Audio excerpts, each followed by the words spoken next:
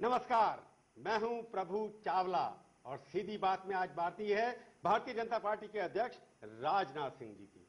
आप चुनाव जीत गए बहुत बहुत मुबारक हो। बहुत बहुत धन्यवाद। सब नेता चुनाव जीत गए बाकी सब हार गए। ये कैसे हुआ? आपको बहुत विश्वास था पर आपके साथ विश्वासघात हुआ या भीतरघात हुआ? नहीं अब तो सारे चुनाव परिणाम आने के बाद हम लोग उसकी समीक्षा करेंगे कि कौन कौन से ऐसे प्रमुख कारण रहे हैं। जिन कारणों से भारतीय जनता पार्टी को अपेक्षा के अनुरूप सफलता प्राप्त नहीं हुई है। इस समय कुछ कहना जल्दबाजी होगी। ये समीक्षा करेंगे आप 2004 की भी समीक्षा अभी 2009 तक पूरी नहीं हुई।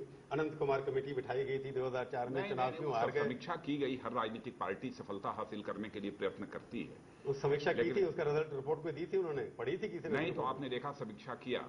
और कई राज्यों के जो विधानसभा के चुनाव हुए उन राज्यों के विधानसभा चुनाव में भारतीय जनता पार्टी ने शानदार सफलता हासिल की। नहीं उत्तर प्रदेश यानी एक बार- 2004 में जहाँ पर इस देश के चार राज्यों में ही भारतीय जनता पार्टी की स्पष्ट बहुमत के आधार पर सरकार थी लेकिन 2009 के पहले आज छह राज्यों में स्पष्ट बहुमत के आधार पर भारतीय जनता पार्टी अपनी सरकार चला रही है। और सबसे प्रमुख बात इस दक्षिण राज्य में भारतीय जनता पार्टी ने इस आज़ाद भारत में कभी भी सरकार बहुमत के आधार पर बनाने में सफलता हासिल नहीं की थी। पहली बार दक्षिण भारत के एक बड़े राज्य कर्नाटक में हम स्पष्ट बहुमत के आधार पर अपनी सरकार चला रहे हैं। ऐसा नहीं है।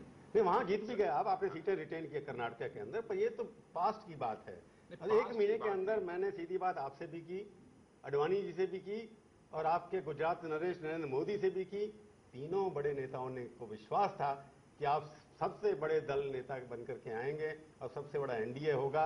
आप और कांग्रेस में 80 सीटों का फ़र्क कहाँ गलती हुई? यदि राजनीतिक पार्टियों में और राजनेताओं में आत्मविश्वास न हो तो मैं समझता हूँ कि किसी भी चुनाव को लड़ नहीं सकते। जनरल में कॉन्फिडेंस होना चाहिए। जब हार रहे हो तभी होना चाहिए। कॉन्फिडेंस हारने की जीत और हार का सिलसिला तो यह चलता रहता है। इतनी बुरी हार आप आपको पता था? जब अब हम हम हम लोगों की जो जो वांछित सफलता प्राप्त नहीं हुई अपेक्षित सफलता प्राप्त नहीं हुई तुरंत हमने टेलीफोन मिलाकर कांग्रेस को चुकी सफलता हासिल हुई थी इसलिए कांग्रेस के अध्यक्षा श्रीमती सोनिया जी सोनिया जी को भी मैंने अपनी तरफ़ से कांग्रेचुलेट किया और प्रधानमंत्री श्री मनमोहन सिंह जी को भी मैंने कांग्रेचुलेट किया और यह मैंने कहा कि भारतीय जनता पार्टी बराबर अपना रचनात्मक सहयोग करती रहेगी। हम कंस्ट्रक्टिव अपोजिशन की अपनी ये तो अडवाणी जी जब आ रहे थे पिछली बार 2004 के अंदर में यही स्टेटमेंट दी थी। आपने सबको कॉल किया था धन्यवाद। औपचारिकता तो करनी पड़ती है। औपचारिकता तो अभी हेल्दी डेमोक्रेसी में इसकी अपेक्षा की जाती है। पर नेताओं को इतना विश्वास कैसे था? कटुता नहीं पैदा आपका विश्वास किस बात पे था? आपने किस बात पे लगता था कि आप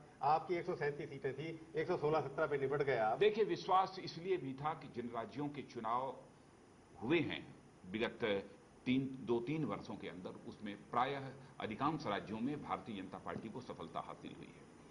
और चूँकि चौदह असेंबली इलेक्शन में आपने दस ग्यारह कांग्रेस लेड यूपीए गवर्नमेंट के आने के बाद महँगाई तेज़ी के साथ बढ़ी आंतरिक और बाह्य सुरक्षा का संकट भी गहरा हुआ खाद्य सुरक्षा का संकट भी गहरा हुआ यह सब कई सारी ऐसी चीज़ें थी कि हम लोगों का यह मानना था कि निश्चित रूप से जनता इससे प्रभावित होगी। और इस बार के चुनाव में भारतीय जनता पार्टी नेतृत्व की एनडीए गवर्नमेंट के भी चूँकि शासनकाल को देखा है और दोनों शासनकाल की तुलना तो दूसरी बार उन्होंने आपको निपटा दिया ना इसका मतलब आपकी साख कम है हाँ मैं नहीं मैं मैं मैं इस बात को स्वीकार कर लेता हूँ कि आपके इस बार की हमें साख कम है। हमें हमें आपके ऊपर विश्वास कोई नहीं करते नहीं नहीं विश्वास की बात नहीं एक बार कोई चुनाव हार गया। दो बार नहीं नहीं दो बार ही यदि हार गया तो उसका मतलब यह नहीं होता है कि उसकी साख नहीं रही।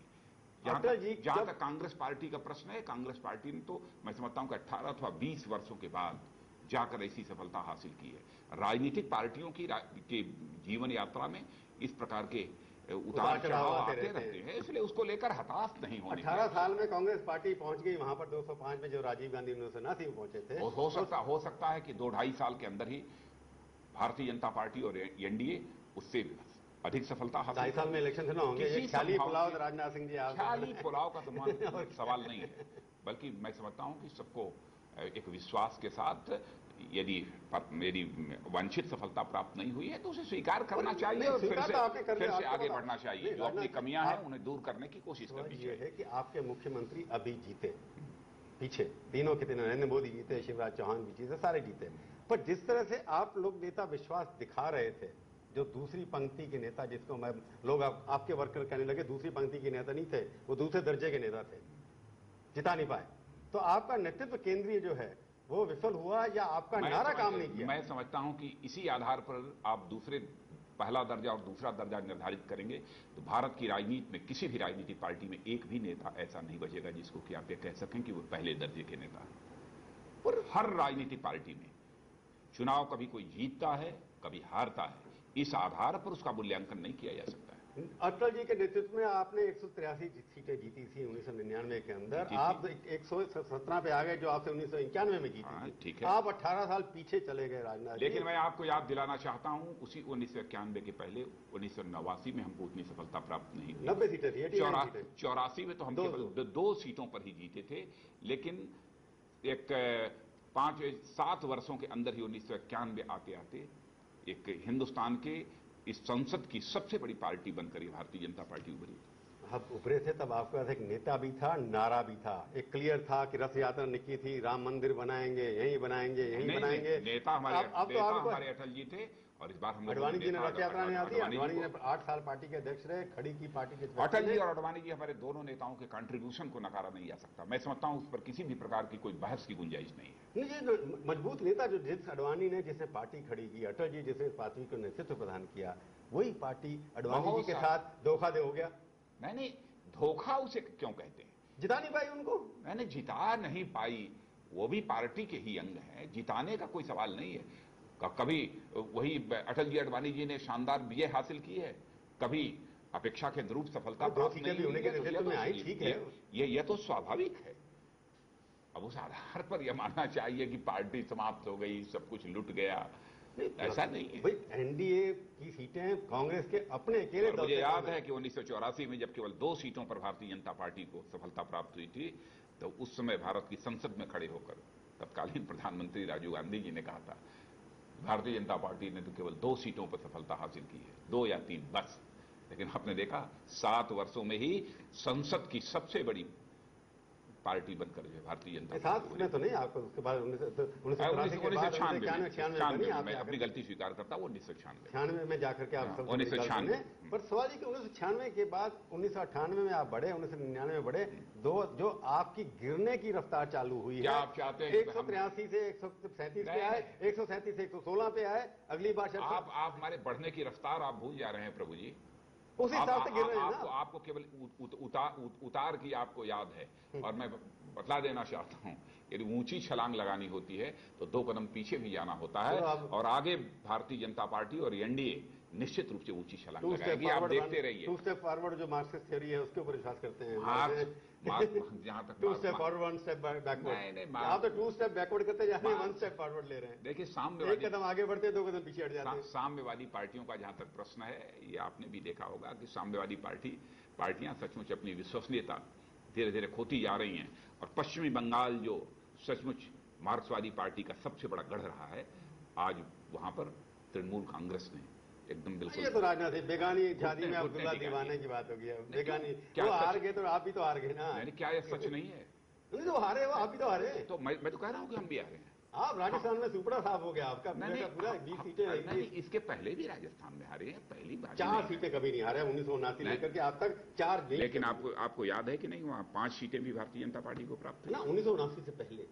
उन्नीस सौ उनासी के बाद आपकी सीटें दस बारह दस बारह मुझे मुझे मुझे ख्याल है कि अ, उसी बीच किसी समय पाँच सीटें भी राजस्थान में तो अब तो चार ही रह गई चलो पाँच ही मान लें चार रह गई। चार रह गई लेकिन कभी हमारी चार की जगह चौबीस भी तो आ तो सकती मेरे है। लगता नहीं कि आपका कहीं नारा गलत हो गया आप नेगेटिव पब्लिसिटी में चले गए मज़बूत नेता देखिए, इस विषय पर मैं आपने कहा कि प्रधानमंत्री मजबूर मजबूर मजबूर प्रधानमंत्री गुड़िया कांग्रेस बुढ़िया कांग्रेस ऐसी हावी पड़ी आपके ऊपर। नहीं। कि आपको धूल चाटनी पड़ी। नहीं नहीं ये सवाल नहीं खड़ा होता है। हम लोगों ने चुनाव लड़ा था मुद्दों के आधार पर चुनाव लड़ा था महँगाई के आधार पर चुनाव लड़ा था तो आंतरिक और बाह्य किया सुरक्षा के संकट के तो आधार पर चुनाव लड़ा बात करते हैं मजबूर- यह हो सकता है कि हम जिन मुद्दों को लेकर चुनाव लड़े थे उन मुद्दों को हम जनता के गले के नीचे उतारने में जो हमको सफलता हासिल होनी चाहिए थी वह नहीं हासिल हो पाई। आप फेल हुए आपका नारा फेल होने की बात हम तो कहते हैं ना कि स्वस्थ लोकतांत्रिक व्यवस्था में जो राजनीतिक आपका नारा फेल हो गया नेता यदि पराजित होता है उसे अपनी पराजय स्वीकार करनी चाहिए। चलो नारा आपका फेल राजनाथ जी नारा आपका फेल हुआ या नहीं हुआ। बात करूँगा आपसे एक ब्रेक के बाद। नहीं नारों एक ब्रेक के बाद बात सीधी बात में आपका एक बार फिर से स्वागत है। आज हम बातचीत कर रहे हैं भारतीय जनता पार्टी के अध्यक्ष राजनाथ सिंह जी से। मैं पहले ब्रेक से पहले आपसे पूछा था कि नारा फेल हो गया आपका। आपने कहा कीमतों के आप मैसेज जनता तक नहीं पहुँचा पाए। देखिए, अपनी बात को बहुत ही सहज और सरल तरीके से जनता तक पहुँचाने के लिए लोग नारे बनाते हैं। लेकिन इस सच्चाई को भी समझना चाहिए। नारों के आधार पर न कोई सरकार बन सकती है, न कोई सरकार चल सकती है। लेकिन एक तरीका है लोकतांत्रिक व्यवस्था में, क्योंकि सारी जनता बहुत पढ़ी लिखी और हर सारी टेक्निकल चीज़ों को समझती हो, ऐसा नहीं होता। इसलिए अपनी बात को सहज सरल तरीके से लोगों तक पहुँचाने के लिए लोग नारों का पर उसका सहज और सरल तरीके से आप नहीं पहुँचाए आपके चाणक्य सब फेल हो गए ना? चाणक्य वगैरह कोई नहीं होता है लेकिन कांग्रेस का नारा सीधा था। इसे तो कांग्रेस का हाथ गरीब के साथ आम आदमी के साथ उनके नारे आते उनके चित्र आते थे गरीब आदमी मजदूर सड़क किसान और आपके यहाँ सिर्फ़ नेता ही नेता दिखाई देते थे हमारा देखिए जीत जाने पर सारी अच्छाइयाँ ही दिखाई देती हैं विश्लेषण तो करेंगे ना और विश्लेषण विश्लेषण करने का यह फोरम नहीं है अभी कल ही चुनाव परिणाम आए हैं अब उसके बाद बैठकर हम लोग उसकी समीक्षा करेंगे देखेंगे कौन कौन से कारण हैं। कभी इस फोरम पर बैठकर यहाँ पर बैठकर सीधी बात की वार्ता इसमें सीधी बात नहीं करेंगे आप सीधी बातें बैठ के। नहीं नहीं सीधी बात पूरी करते हैं लेकिन सच्चाई यह है कि हम कैसे बतला दें कि ये ये कारण थे।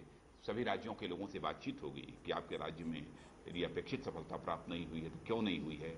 यदि अच्छी सफलता प्राप्त हुई है तो उसके पीछे कौन कौन से कारण हैं? यह सब जानकारी हासिल करने के बाद ही कोई सही टिप्पणी कर सकता है। लोग नेतृत्व जो है आपके जैसे अडवाणी जी ने अखबार में जो पढ़ा और वहाँ क्या हुआ पता नहीं अडवाणी ने कहा कि मैं मॉरल रिस्पॉन्सिबिलिटी लेता हूँ और मैं अवेलेबल नहीं हूँ लीडर ऑफ़ ऑपोजिशन बनने के लिए। उन्होंने ये तो नहीं कहा राजनीति संन्यास ले रहा हूँ परंतु मेरा सूचना यह है कि वो अपने इस फैसले पर अटल है।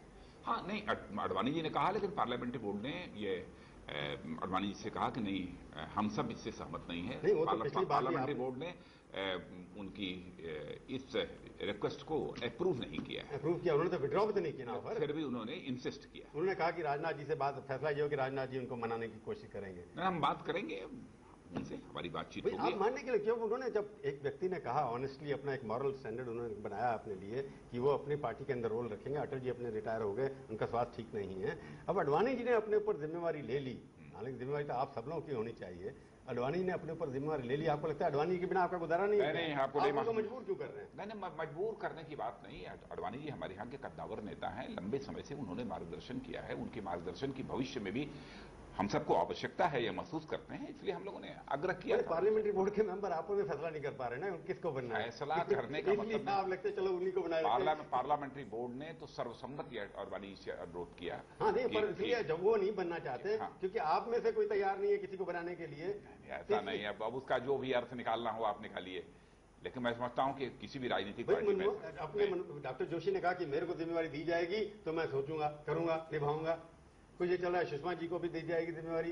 तो अडवाणी जी की जगह बाकी लोग जैसे अपने होड़ लगी हुई है और क्योंकि और ये, ये ये हमारी पार्लियामेंट्री बोर्ड को पार्टी को फैसला करना है। मैं समझता हूँ कि इसकी यहाँ पर चर्चा करने का कोई मतलब नहीं है। नहीं पर आपकी कोशिश होगी अडवाणी जी नहीं माने क्योंकि और तक लेकर रेस्पॉन्सिबिलिटी नहीं मैं बात करूँगा अडवाणी से मैं बात करूँगा।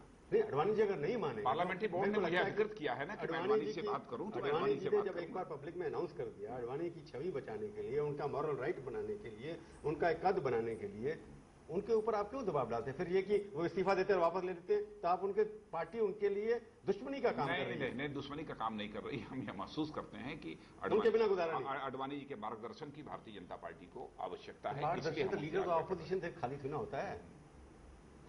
नहीं नहीं उनकी आवश्यकता हम लोग महसूस कर रहे हैं। ना कोई और तो हो सकता है अडवाणी जी के लिए? उनका स्वास्थ्य ठीक है सब कुछ ठीक है। इसलिए पूरी आप उनको मनाने की कोशिश फिर से करेंगे। हम निश्चित रूप से बातचीत करेंगे उनको मनाने की कोशिश करेंगे। और वो नहीं माने तो? अब वो तो ये तो काल्पनिक प्रश्न हो गया कि नहीं माने तो। पर ऑल्टरनेटिव क्या जो होट जल गया नहीं नहीं ये तो मैं का, काल्पनिक प्रश्नों का उत्तर क्या मैं दूँ? अब पहले पहले तो ये है कि मुझे बात करनी है मैं बात करूँगा अगला चुनाव अगर आपने जीतना जीतना है तो उसका तो कारण यही होगा कि अगर पार्लियामेंट के अंदर इफ़ेक्टिव ऑपोजिशन का रोल आप कंस्ट्रक्टिव इफ़ेक्टिव फिर पिछली पार्लियामेंट्री ऑपोजिशन आप पता नहीं क्या किया आपने कुछ समझ नहीं आया नहीं आप, आपका क्या मत है कोई नेता तो चाहिए वहाँ। पिछ- पिछली पार्लियामेंट में आपका क्या मत है? मतलब ये हुआ कि आपने कोई ऐसा इशू उठाया ही नहीं। न्यूक्लियर डील में आप बदलते रहे। आपने विरोध किया उसके बाद आपने कहा नहीं हम सोचेंगे। प्र- प्र- प्रभु जी एकदम बिल्कुल ऐसी बेबुनियाद बात है यदि आप लग के कहेंगे। आपने न्यूक्लियर डील का विरोध किया ना? मैं न्यूक्लियर डील का विरोध किया। और उसके बाद एडवाइस ने कहा नहीं हम आएँगे तो देखेंगे तो कैंसिल करनी है कि नहीं करनी फिर विरोध किया। विरोध किया, आपने किसी- करने के लिए किसी इंटरनेशनल ट्रीटी के बारे में कोई ये नहीं कह सकता कि हम आएँगे तो तुरंत उसे पूरी रद्द कर देंगे। तो यह कोई तरीका नहीं होता। है आपने पहले कहा हम रिव्यू करेंगे प्रेस स्टेटमेंट आपकी आई यह- हम उसको पढ़ेंगे यह रिव्यू तो- करेंगे अगर देश में इतनी नहीं होगी तो हम उसको रिव्यू करेंगे। यह यह तो स्टैंड अंत तक रहा इसमें परिवर्तन कहाँ पर हुआ? उसके बाद का स्टैंड ये रहा। मैं मतलब इसमें, कोई परिवर्तन नहीं हुआ।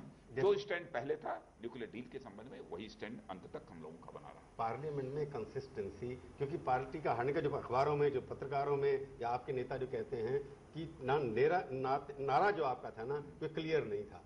आप हिंदुत्व के साथ है नहीं है मंदिर बनाएँगे देखिए जो जो जो जो भी हमारी विरोध की राजनीतिक पार्टी है बट नेचुरल है उसके नेता तो ये कहेंगे ही। उनको तो बराबर हमारी खामियाँ ही खामियाँ दिखाई देंगी ये तो स्वाभाविक है। नहीं, मोदी हम उनको कैसे रोक सकते हैं कि नहीं? भारतीय जनता पार्टी के जो इश्यूज़ हैं जो भारतीय जनता पार्टी के स्लोगन्स हैं उसको आप अप्रिशिएट करो। इसकी तो हम अपेक्षा भी नहीं करेंगे। करते ऑपोजिशन वैसे नहीं करेंगे पर आपका नारा क्लियर भी तो नहीं सकता था कि आपकी आइडियोलॉजी क्या है मैंने ये ये ये हम लोग नारे में कहीं कोई कमी नहीं थी सब कुछ क्लियर था। लेकिन यह बात सच है कि जनता के गले के नीचे हम अपनी बात को नहीं उतार पाए इसे मैं तो बार बार स्वीकार कर रहा हूँ। आपके नारे और आपके प्रोग्राम के साथ नीतीश कुमार ने स्टेटमेंट दे दी खिलाफ आपके कहाँ स्टेटमेंट दे जब आपका मैनिफेस्टो आया हाँ। तो उन्होंने कहा कि हम तो आपके साथ सहमत ही नहीं है। नहीं मैं तो यदि यदि हमारे साथ सहमत नहीं थे तो फिर इसके बाद नीतीश कुमार जी ने इस बात को क्यों कहा? कि हम एनडीए के साथ थे एनडीए के साथ हैं और एनडीए के साथ नहीं उसके बाद वो बदलते रहे। क्या क्या कहते हैं क्या बात जी? अब आप किसी आप कुमार- क्या आप क्या इस पार्टी में किसी को नहीं छोड़ेंगे? नहीं नहीं आप अध्यक्ष हैं मैं आपसे अधिकार मेरा है कि मैं आपसे सारे सवाल पूछूँ। बाकी लोग तो जवाब देते नहीं, आप कम से कम जवाब तो देते हैं बदले- नहीं। बस नीतीश कुमार ने क्या मीडिया ने मैं आपसे ब्रेक के बाद पूछूँगा दोबारा।